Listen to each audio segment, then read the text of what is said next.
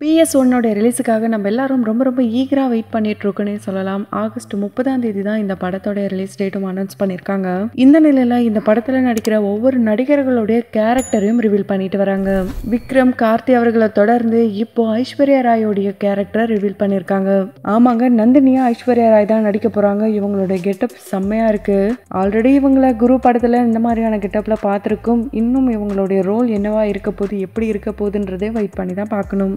இப்போ இந்த photo social மீடியாவில் வைரல் ஆகிட்டே இருக்கு. நிறைய பேர் சூப்பர் வெல்கம் நந்தினி இப்படிலாம் சொல்லிட்டு வராங்க.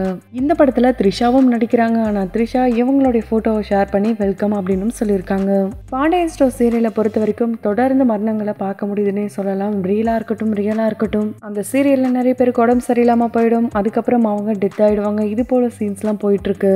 இப்போ இந்த சீரியலுடைய மேக்கப் மேன் கலைமணி காலமாயிருக்காரு. இந்த விஷயத்த ரொம்ப ரொம்ப வருத்தத்துடன் சொல்லியிருக்காங்க கம்பம் மீனா. அவங்க என்ன சொல்லியிருக்காங்கன்னா பாண்டியன் ஸ்டோர் பாக்கியலட்சுமி ரெண்டு சீரியலோடைய மேக்கப் பண்ண கலைமணி.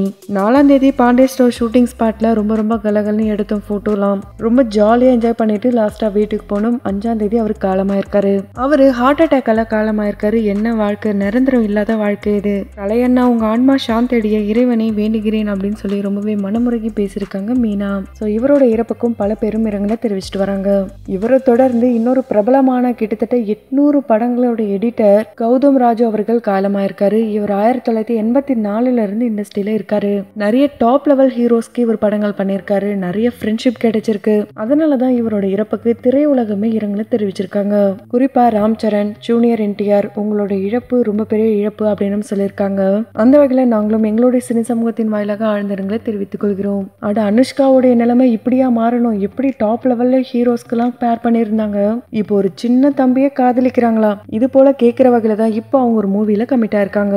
அனுஷ்கா ரொம்ப ரொம்ப வெயிட் கெயின் பண்ணதுனால அவங்களுக்கு ஹீரோயின் வாய்ப்பு கிடைக்கவே இல்லையாம் அதனால இப்போ கிடைக்கிற ரோல்லாம் பண்ணலான்னு ஒரு முடிவு எடுத்திருக்காங்களாம். அப்படிதான் இப்போ ஒரு சின்ன பையனை காதலிக்கிற வகையில் இவங்களுடைய கேரக்டர் அமைஞ்சிருக்கு. இது அனுஷ்காவுடைய ஃபேன்ஸ் மத்தியில் கொஞ்சம் டிசப்பாயின்மெண்ட்டாக தாங்க இருக்கு. அதனால தான் இவங்களோட இந்த மூவி அப்டேட் வந்ததுமே நிறைய பேர் என்ன இது என்ன இது இது போலலாம் கமெண்ட் பண்ணிட்டு வராங்க. காயத்ரி ரகுரா மாஸ்டருக்கு என்னாச்சுன்னே தெரியல. ஒரு பக்கம் பார்த்தீங்கன்னா சூர்யாவை புகழ்ந்து பேசுறாங்க. இன்னொரு பக்கம் சூர்யாவை இகழ்ந்து பேசுறாங்க. ஏன்னா ஜெய்பீம் படத்தை படத்துக்கு அவரை ரொம்பவே பாராட்டினாங்க. அதை தொடர்ந்து இப்போ ராக்கெட்ரி படம் பார்த்துட்டு அவரை திட்டிருக்காங்க.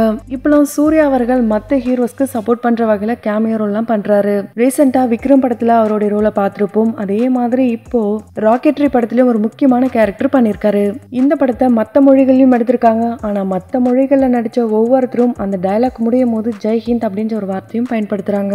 இப்போ அதுல தாங்க சிக்கலும் வந்திருக்கு. ஏன்னா காயத்ரி என்ன கேட்டிருக்காங்கன்னா ராக்கெட்ரி படத்துல சூர்யா ஒரு முக்கியமான ரோலை பண்ணியிருக்காரு. இவர் மட்டும் இல்லாம மற்ற மொழிகள்ல மற்ற பேர் நல்லா தான் நடிச்சிருக்காங்க. ஒவ்வொரு டைலாக்குக்கு பின்னாடியும் ஜெய்ஹிந்த் அப்படின்ற வார்த்தையை சொல்றாங்க. ஆனா சூர்யா மட்டும் ஏன் சொல்லல?